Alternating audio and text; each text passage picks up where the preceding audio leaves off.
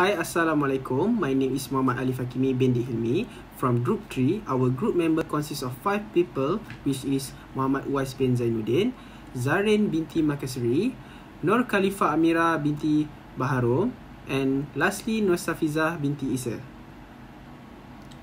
So for our e-pitching business idea, we decide to choose tumbler with a vacuum technology. In choosing this product, we know that the tumbler might not related to technopreneurship, but with the vacuum technology that we bring with the tumbler, it giving the product related to our focus. Due to our current weather in Malaysia, we hardly can maintain the coolness of ice drink. So with the come out of our product, it can keep the ice drink for almost 24 hours. So we go for the first part which is vision and value proposition.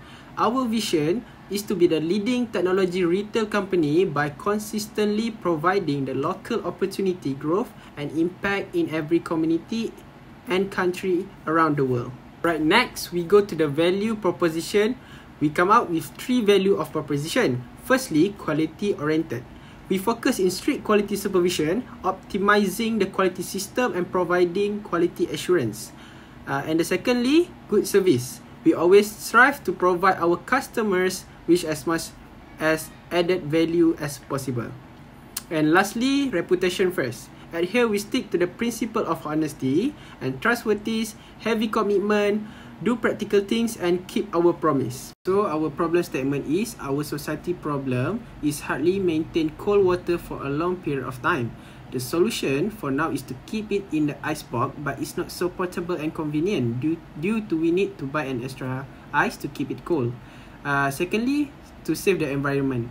Nowadays, our plastic waste is increasing day by day and as for the time being, we use recycled plastic to make a new plastic so there is no solution in reducing our plastic waste.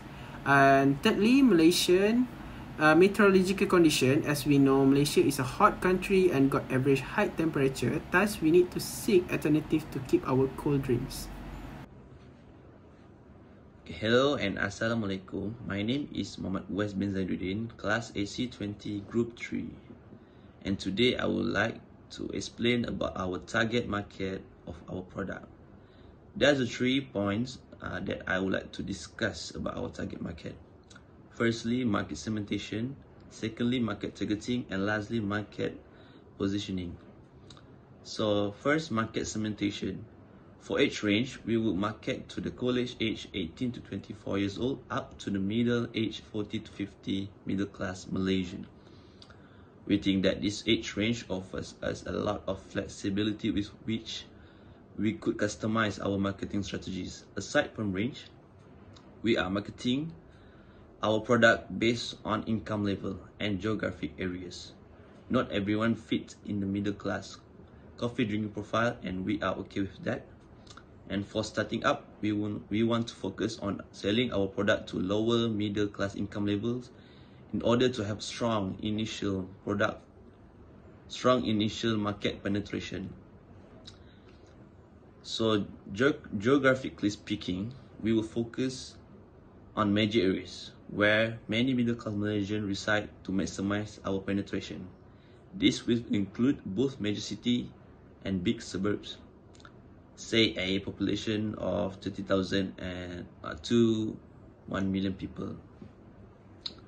Next, for market targeting, uh, the middle-aged coffee drinker who either as a home brewing unit or takes daily trips to a coffee shop will be our primary target and the middle-aged consumer is our target because they will see the value in the product that can make their daily routine easier.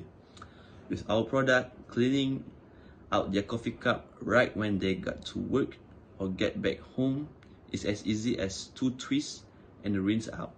This will be fit the lifestyle of middle-aged Malaysian who makes coffee part of their daily routine and does not want to waste time cleaning out their traditional style mug. And lastly, for our market positioning, we will try to partner with a local coffee shops and sell our product in their shops to further our brand awareness and positioning. So the most common customers at coffee shops are as are young urban adults ranging from 18 to 45 years old. We will market ourselves as a fun, hip, convenient brand that is environmentally friendly and minimize the use of disposable cups. This will fit well with the coffee shop business plan that promotes eco-friendly behaviors. That's all from me. Thank you. Our product is the thermos tumbler. This thermos is mainly a high vacuum heat breaking technology, which is the double layer stainless steel structure is the use in the bottle and the air between the inner layer and outer layer of stainless steel is pumped out to achieve the vacuum state. There is a mirror function inside which is emit heat energy into the bottle to maintain the temperature inside the bottle. So it can withstand cool water for 12 hours. This thermos tumbler can provide convenience to customer because this thermos can keep the water cool and hot for a long time and is also handy to carry any place, such as to the office or when traveling. In addition, the thermos tumbler is equipped with wide lid design. The design can let our customer clean their thermos cup more easier. Moreover, our thermos tumbler come in a variety of color and for each straw tumbler come with a straw and also our thermos tumbler have two size which is 300 milliliter and 890 milliliter. Our thermos tumbler is food grade material. Our product use food grade material to manufacture all of the material to withstand with high temperature. It may ensure the healthy our customers.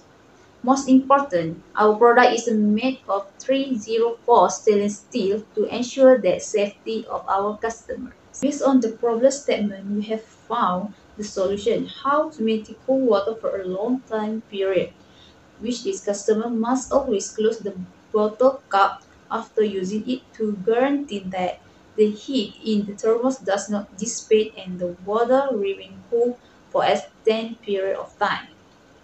This is due to the vacuum water thermos inserted stainless steel structure, which can control heat conduction, convective heat, and heat radiation to reach the goal of heat preservation, also cool preservation and freshness preservation. Second is to save environment.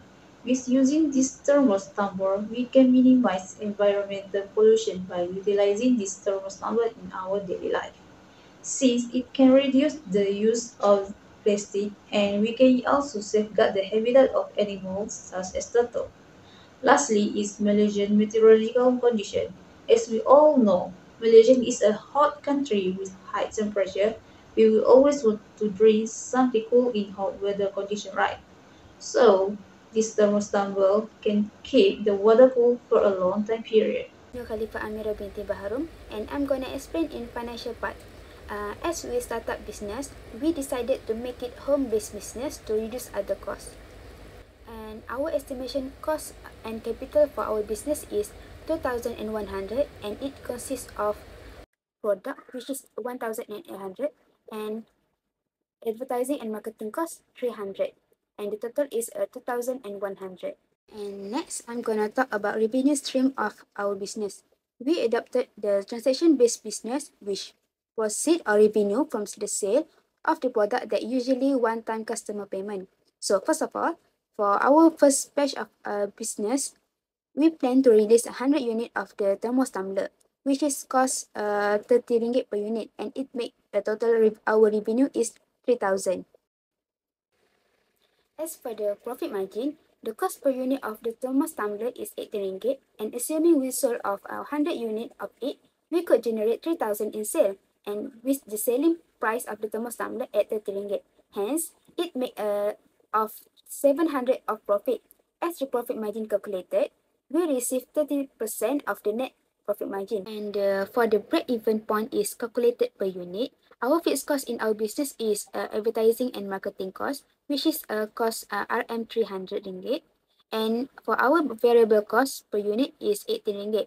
And it make uh, our BEP is 25 unit and it shown in the calculation here. For the next is a contingency plan for our risk. And we have three issues which is the broken product. The possibility of broken product is medium And if it happen, we will make a details quality check on while receiving the items and the products. Uh, next is a uh, competitive. In possibility of competitive is medium and if it happen, uh, we're gonna offer a best price and service to and enhancing our advertising to the customer and we also will substitute our product or find other and uh, alternative. And lastly is the customer bad feedback. And the possibility is low. And if it happen, we're going to improve our service and offer a better service for him or her. And next, if uh, it because of the product, we're going to give him uh, or her return or refund or give another unit of the product. Hi, right now is the part where I will present to you that you as a potential investor want to hear the use of our funds. In this business, we have divided our funds into four users, which we are going to use 40% of the fund for, for the product development. This will include the raw material and also research and development. 10% of the funds will be used for the contingency plans, 5% for the advertising and marketing. The percentage is quite low. That's because we only use social media to pro to promoting our product and the rest of the fund will be used for operation and hiring which is 45%. From that, we're going to wrap our presentation. I hope you enjoy it and we pledge to grow this business to the best that we could and utilize all the resources that we have. We will not wasting the trust that you put on our business and we will make sure your investment will worth it. Thank you.